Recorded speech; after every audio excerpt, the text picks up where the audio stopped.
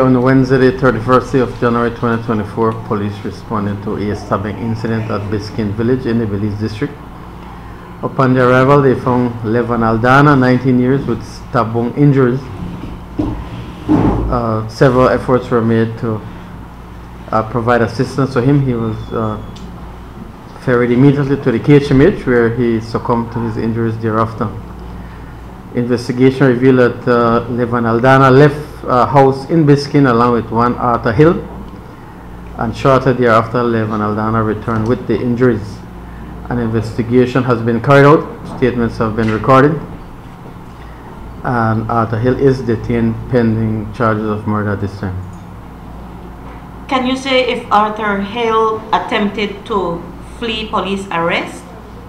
No, he was apprehended shortly thereafter in the area. He turned himself in, right? No, he was apprehended by the police. Can you say whether your investigation has led you to any quote unquote shallow grave that had been dug in that vicinity? Uh, not that I know of now. Or what was the motive of, or what triggered this? The information we have got is that these two persons uh, have an altercation from a wa- uh, way back, and every time they uh, see each other and are consuming alcoholic beverages, they get into fights. That is the information we have. Sir, and um, you know, um, was there apparently was stabbed to death? Was there has any knife been recovered? Uh, no, no knife has been recovered.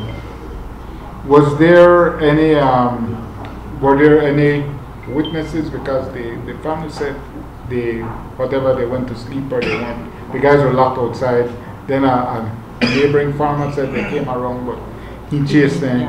Um, so, did anyone? Do you all have any witnesses who actually saw the two having a, an altercation? I will not go into the details as to any witnesses. Uh, I mentioned we did several interviews and uh, collected a piece of evidence, and that is what led to this arrest at this time. The man who is detained, um, he.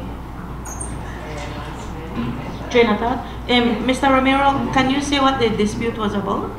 We are not sure that the- that is information we have. They always had some dispute between them. Yes, the man, is he cooperating with police? Is he telling you um, the motive? Um, if The motive was, in the uh, dispute. I will not uh, divulge that information. Again, we have sufficient evidence to charge him at this time.